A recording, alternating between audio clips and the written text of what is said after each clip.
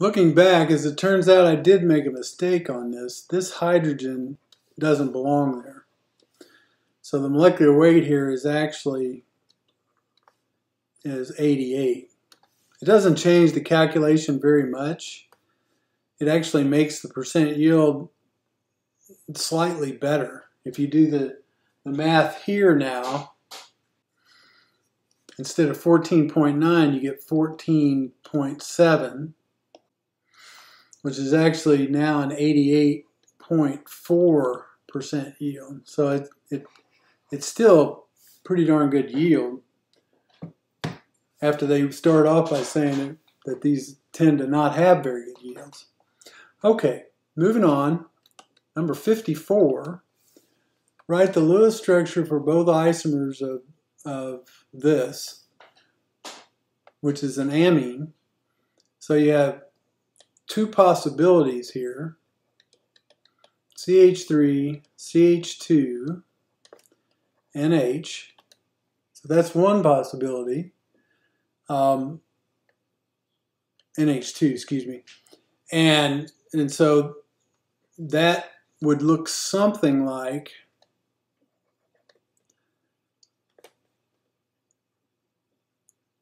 we have we got four and four and two fives is ten and I'm counting valence electrons here. We have a total of seven hydrogen valence electrons.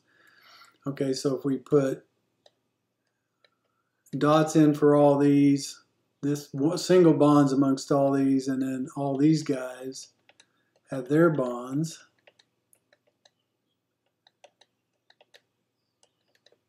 like so.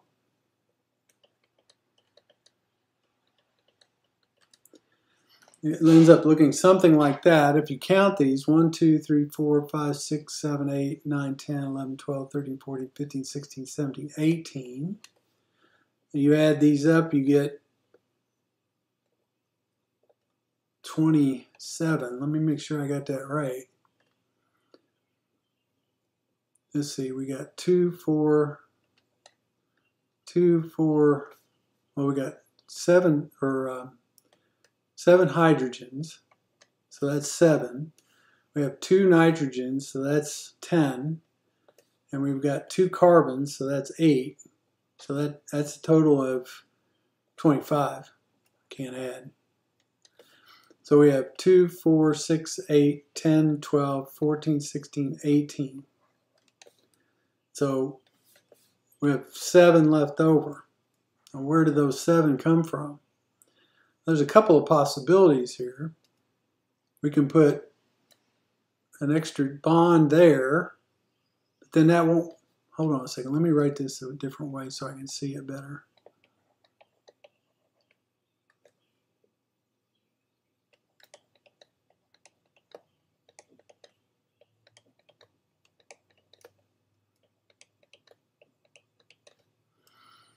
So it looks something like that if they're all single bonds in here.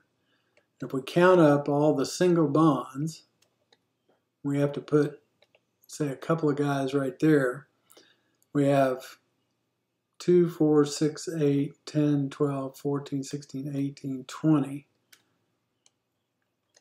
And we have a total of, there's five left over. So where do those five come from?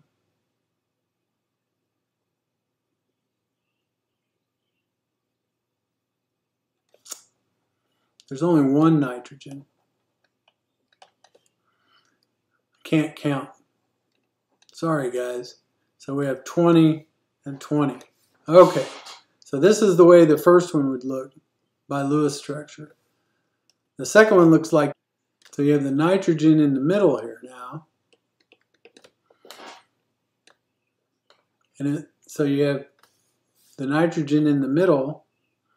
And again, you have put two and again, if you count them, they're going to count out just the same way as this did with 20. So 2, 4, 6, 8, 10, 12, 14, 16, 18, and 2 makes 20. So your two Lewis structures, one looks like this, and one looks like this. number 48 says write two resonance structures for the pyridium ion. The, first of all, what does the pyridium ion look like? Well, the pyridium ion looks like the benzene, but with a nitrogen instead of, so it looks something like this. C, C, C, N, C, C. So it looks like benzene, okay? Except you have a nitrogen instead of So there, there's what it looks like. So in order for this to work, remember benzene had double bonds in here. Like that. But then it could also look like this.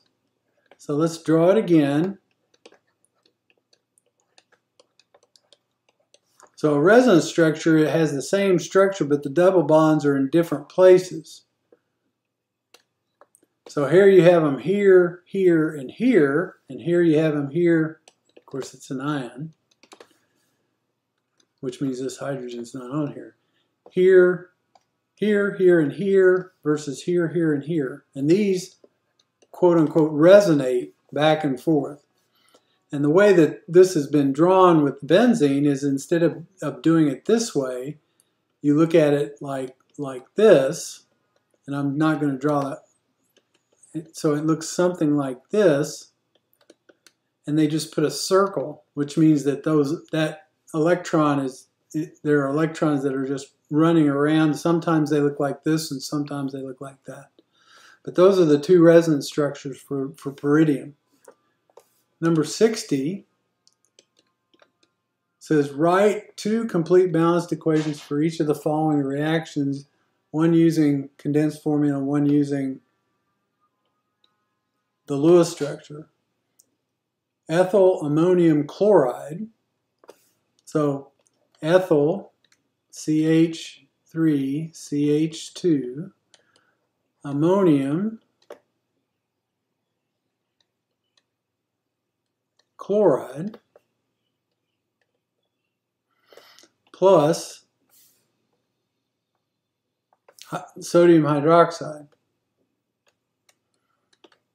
Now, hydroxide. Now what makes the most sense here is for this sodium here to combine with this chlorine and for this for this hydroxide to end up over here. So that Sorry, there's a hydrogen in here. So that would look like this, CH3, CH2, NH2, OH, plus sodium chloride. Or you could, and so writing that as a Lewis structure, it would look something like, this would look something like this. You put these around like this, you put the chlorine here, hydrogen, hydrogen, put a sodium here, or a nitrogen here, oxygen, hydrogen, hydrogen, something like that. And you know, sodium chloride is an ionic compound. It would be sodium and chlorine, like that. And so that's how that's how this would look in a Lewis structure. You'd start out with this Lewis structure over here,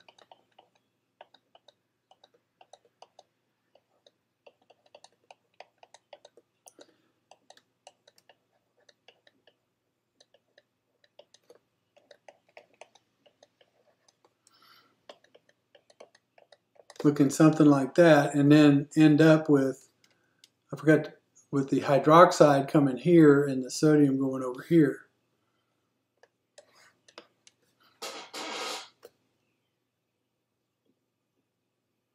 So if you have any questions about any of this, you can contact me and let me know.